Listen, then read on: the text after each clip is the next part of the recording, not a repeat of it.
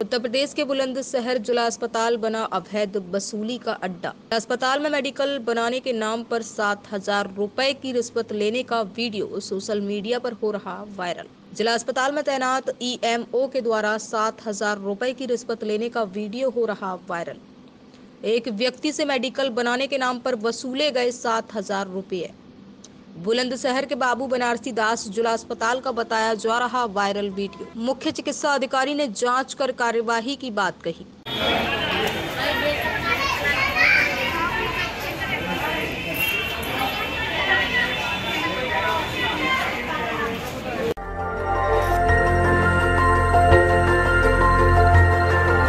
देखते रहिए डीबी भारती समाचार।